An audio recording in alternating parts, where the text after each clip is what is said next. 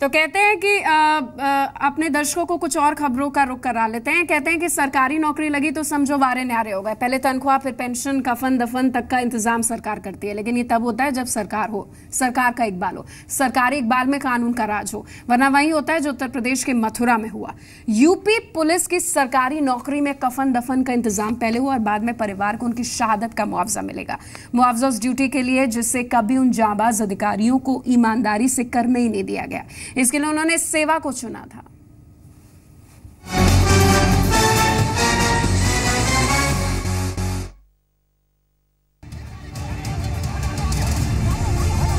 सत्रह जून 2011 सत्याग्रहियों के नेता रामवृक्ष यादव समेत 15 लोगों पर नामजद और सैकड़ों अज्ञात लोगों के खिलाफ जानलेवा हमला कर बलवा, मारपीट और धमकी दिए जाने का मुकदमा दर्ज। 2 अक्टूबर 2013 जवाहर बाग संरक्षण अधिकारी किशन ने सरकारी काम में बाधा, गाली गलौज और सरकारी संपत्ति पर कब्जा करने के खिलाफ रामवृक्ष और उनके समर्थकों के खिलाफ थाना सदर बाज़ार में रिपोर्ट दर्ज 7 जून 2014 जिला उद्यान अधिकारी मुकेश कुमार ने सरकारी संपत्ति को कब्जा करने क्षति पहुँचाने, गाली गलौज और धमकी देने पर 250 कथित सत्याग्रहियों के खिलाफ थाना सदर बाज़ार में रिपोर्ट दर्ज 15 जून 2014 ठेकेदार जयप्रकाश ने पेड़ों से फल तोड़ने, पेड़ काटने और जान से मारने की धमकी दिए जाने की रिपोर्ट थाना सदर बाज़ार में दर्ज। 24 सितंबर 2014 सत्याग्रहियों पर जिला उद्यान अधिकारी को धमकी देने और जान से मारने की रिपोर्ट थाना सदर बाज़ार में दर्ज। 29 नवंबर 2014 सत्याग्रहियों के खिलाफ सरकारी संपत्ति पर कब्जा करने और क्षति पहुँचाने के खिलाफ थाना सदर बाज़ार में रिपोर्ट दर्ज। 15 जनवरी 2015 सहायक उद्यान निरीक्षक रामस्वरूप शर्मा ने बलवा करने, गाली गलौज करने, सरकारी संपत्ति पर कब्जा करने और धमकी देने की रिपोर्ट रामवृक्ष यादव और उसके 150 समर्थकों के खिलाफ दर्ज। 22 जनवरी 2015 थानाध्यक्ष प्रदीप कुमार पांडे ने कथित सत्याग्रहियों पर सरकारी काम में बाधा डालने, संपत्ति पर कब्जा करने की रिपोर्ट थाना सदर बाज़ार में दर्ज कराई। 27 मई 2015 जवाहर बाग में तैनात कर्मचारी जगदीश प्रसाद ने रामवृक्ष यादव, चंदन बोस समेत 20 लोगों को नामजद करते हुए 150 लोगों के खिलाफ मुकदमा दर्ज कराया। 16 मार्च 2016 कलेक्ट्रेट कर्मचारी देवी सिंह ने रामवृक्ष समेत अन्य लोगों के खिलाफ मारपीट और धमकी देने की रिपोर्ट दर्ज कराई। आठ अप्रैल 2016 तहसील सदर के अमीन चंद्रमोहन मीना और मोतीकुंज निवासी अजय प्रताप मीणा ने रामवृक्ष यादव समेत ढाई सौ लोगों के खिलाफ बलवा अपहरण मारपीट, सरकारी काम में बाधा और जानलेवा हमला करने की रिपोर्ट दर्ज कराई। चार अप्रैल 2016 अधिवक्ता राकेश कुमार ने बलवा मारपीट की रिपोर्ट थाना सदर बाज़ार में दर्ज कराई, जो रामवृक्ष और उसके साथियों के खिलाफ थी। चार अप्रैल 2016 तहसील सदर में तैनात लेखपाल नितिन चतुर्वेदी ने रामवृक्ष और उसके सहयोगियों पर सरकारी काम में बाधा डालने का मुकदमा दर्ज कराया। ये तारीखें और ये मामले बताने के लिए काफ़ी है। कि मथुरा में बीते दिन जो कुछ हुआ है, वो ना तो एक दिन में हुआ और ना ही अचानक हुआ। आप ये जानकर और हैरान हो जाएँगे कि इसी साल अप्रैल के महीने में स्थानीय इंटेलिजेंस ने रिपोर्ट दी थी कि जवाहर बाग में हथियारबंद लोग मौजूद हैं। परिसर की निगरानी रिपोर्ट जो ड्रोन के ज़रिए तैयार की गई, उसमें भी ये बात साफ़ थी। बावजूद इसके करीब दो दर्जन पुलिसकर्मी अपना इलाज अस्पताल में करा रहे हैं और यूपी पुलिस फोर्स के दो अधिकारी शहीद हो चुके हैं। जो शहीद हुए, उनके परिवार वालों का रो रो कर बुरा हाल है। अच्छी चाहिए, नहीं चाहिए, मुझे मेरा बेटा चाहिए। अब लाके दे डीजीपी साहब मेरा बेटा। मेरे बेटे को मरवाने के लिए मथुरा भेजा। और डीजीपी साहब दे मेरा बेटा। हम मुख्यमंत्री थे मेरा बेटा।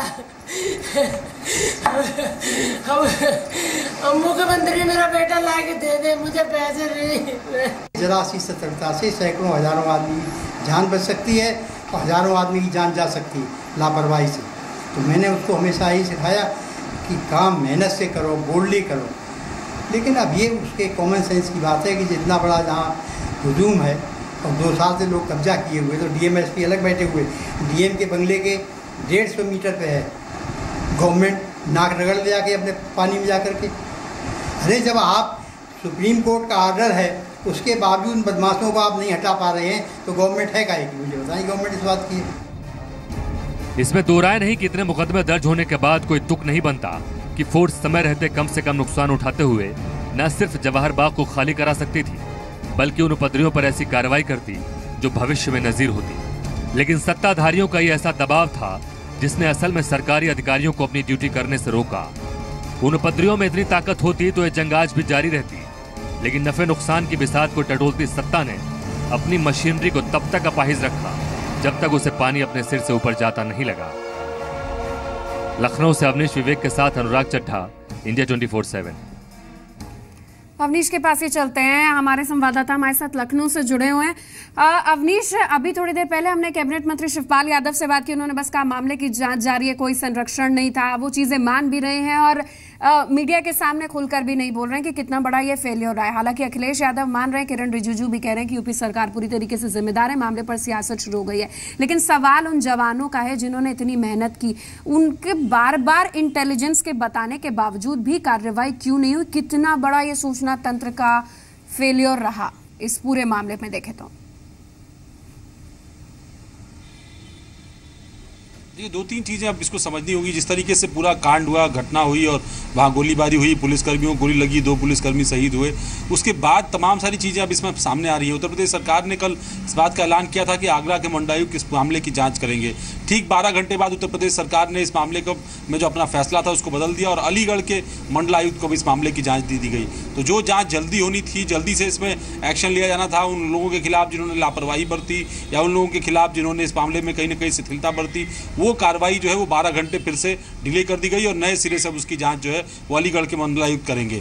अब इन मामलों में जो लापरवाहियाँ पाई गई हैं, उसमें खासतौर पर इंटेलिजेंस फेलियर बार बार बताया जा रहा है, इसलिए क्योंकि इंटेलिजेंस इनपुट जो मिला था, उसमें ये बात कही गई थी कि कुछ ऐसी चीज़ें जिसमें सरिया, डंडे ईंट, पत्थर ये इकट्ठे ज़रूर किए गए हैं इन लोगों के द्वारा। इसके अलावा मिट्टी का तेल और सरसों का तेल रखा गया है, जिसको कभी ज़रूरत पड़ने पर या तो आत्मदाह करने की कोशिश की जाएगी या फिर जिस जगह वो रह रहे होंगे उसको आग लगा दी जाएगी। ये सारी इनपुट्स इंटेलिजेंस की ओर से ज़रूर दिए गए थे, लेकिन इंटेलिजेंस की ओर से ये इनपुट नहीं दिया गया था कि उनके पास हथियारों का कोई जखीरा है अवैध हथियार हैं या किसी तरीके के शस्त्र वगैरह जो है वहाँ लोग कैरी कर रहे हैं। ये बात समझनी ज़रूरी है क्योंकि उत्तर प्रदेश में न सिर्फ़ मथुरा की ये घटना, बल्कि इससे पहले दादरी की घटना, मुजफ्फरनगर की घटना, मथुरा में काट की हिंसा हुई थी, मुरादाबाद में माठ की हिंसा हुई थी, प्रतापगढ़, फिर फैज़ाबाद, फिरोजाबाद, तमाम ऐसे शहर हैं जो इंटेलिजेंस फेलियर के नाते जो है, वो आग की आगोश में गए, वहाँ आग लगी, वहाँ दंगे भड़के, वहाँ बुरे हालात हुए, और कहीं ना कहीं इंटेलिजेंस फेलियर एक तरीके से रहा। तमाम वो अधिकारी जो अभी सूचना विभाग में तैनात हैं, पिछले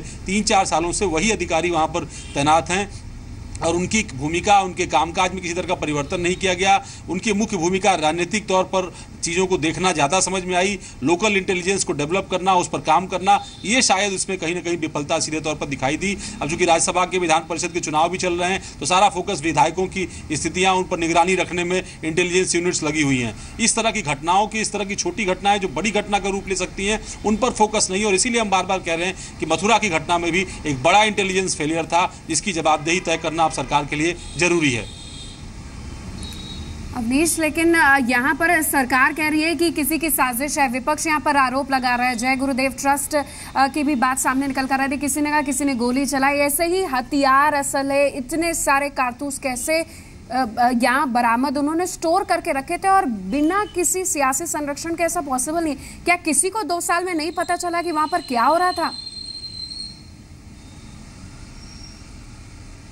या देखिए, खूब पता था लोगों को कि किस तरह के लोग वहाँ हैं, उनकी एक्टिविटीज़ क्या हैं, वो मथुरा में आने से पहले गाजीपुर या दूसरे छत्तीसगढ़, मध्य प्रदेश की सीमावर्ती इलाकों में किस तरह की गतिविधियों में संलिप्त थे, किन लोगों से उनके कनेक्शन थे, इस बात के भी इनपुट सबके पास थे स्थानीय जिला प्रशासन के पास भी था एलआईयू के पास भी था। इसके अलावा और भी जो लोग इन मामलों से जुड़े हुए खासतौर पर ये जो झगड़ा था जय गुरुदेव संप्रदाय के अंदर संपत्तियों का, इस झगड़े से जुड़े हुए लोग भी जानते थे कि रामवृक्ष यादव का बैकग्राउंड क्या है पंकज यादव का बैकग्राउंड क्या है, और भी जो लोग इसमें पार्टी है उनका बैकग्राउंड क्या है और ये लोग किस हद तक चीज़ों को लेकर के जा सकते हैं? हर पक्ष के पास तमाम सारे वैध असलहों के साथ साथ अवैध असलहों का भी चक्कीरा है।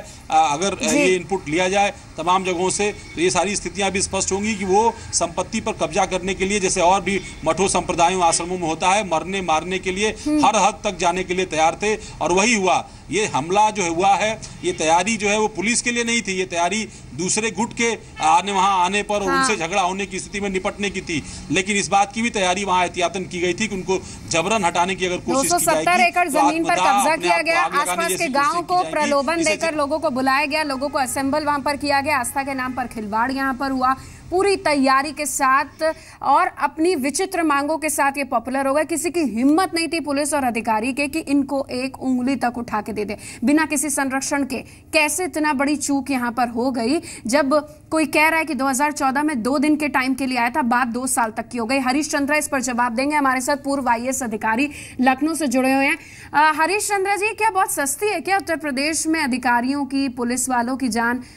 इस पूरे मामले में आपको नहीं लग रहा कि बहुत ही जाबाज थे? अपना फ़र्ज़ निभाने से तो दूर कठपुतली बनकर रह गया प्रशासन और पुलिस बल सरकारी हाथों में।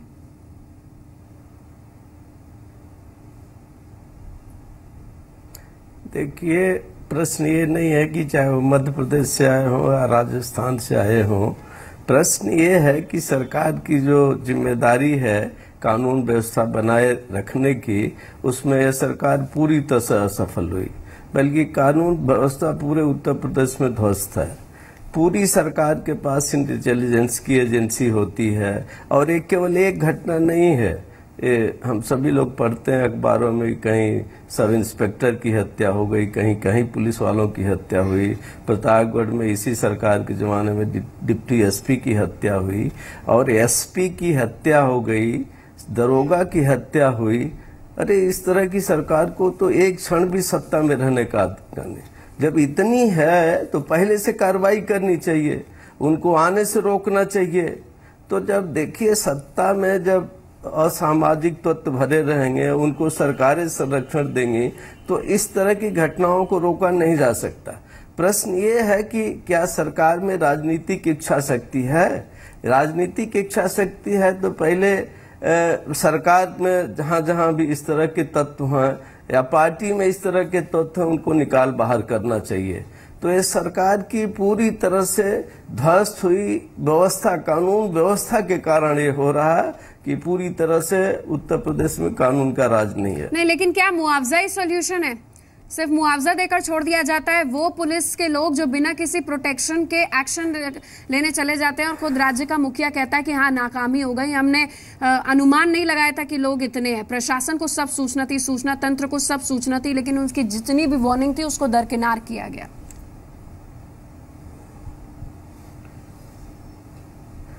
देखिए, सवाल यह है कि सरकारी खजाने का, पब्लिक पब्लिक के धन का ये सरकारें जो है कौड़ियों के भाव इसी तरह से मुआवजा देने में लगा और लोगों के आँसू पोसती रहती हैं।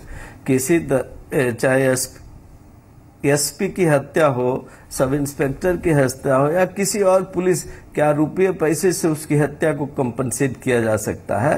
मनुष्य की सबसे ज़िंदगी उसकी ज़िंदगी होती है। वो ज़िंदगी चली गई तो आप जितना रुपया देते रहिए। एक केवल एक तरीके से लोगों को बेवकूफ़ बनाने का रुपया बांट करके बेवकूफ़ बनाने के अलावा और कोई कारण नहीं है।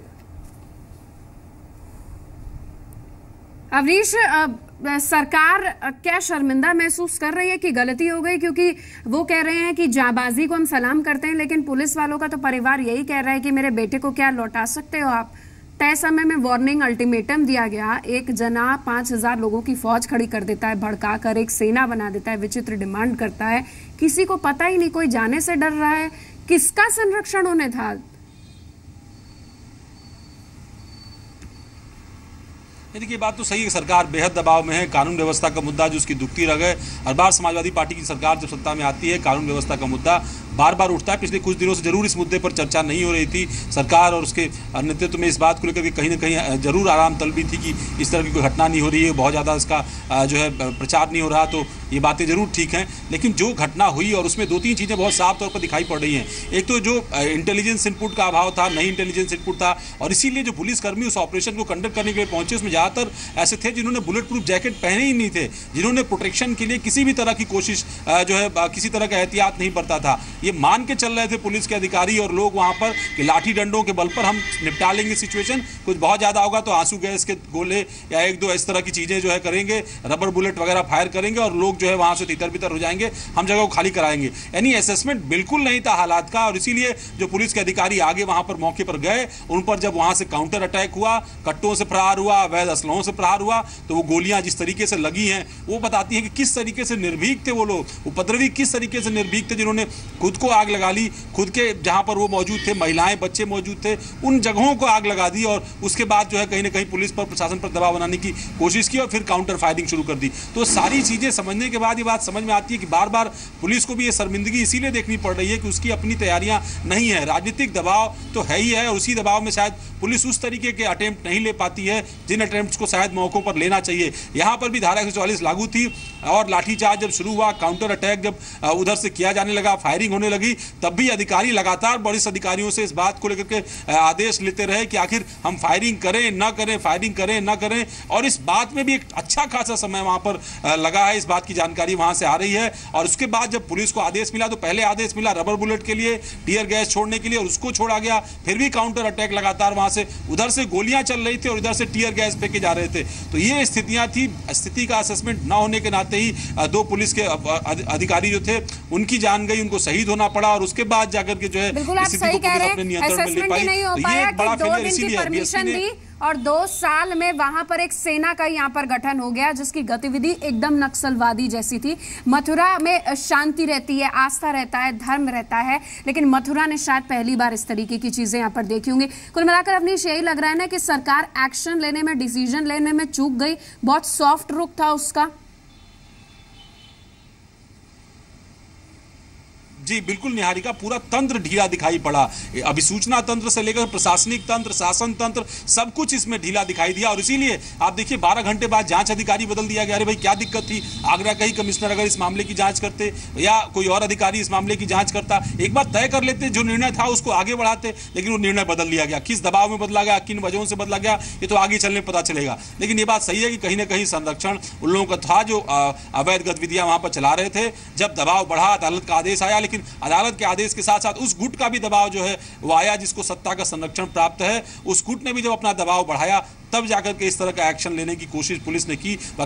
वरना किसी ज़मीन को खाली कराने के लिए शासन में बैठक नहीं होती, वीडियो कॉन्फ्रेंसिंग नहीं होती। इतने वरिष्ठ अधिकारियों को जो है, इस काम में लगाया नहीं जाता और इतनी बड़ी फोर्स भी नहीं लगाई जाती। लेकिन इन सब के बाद भी असेसमेंट की कमी ने ये घटना जो है, वो करा दी।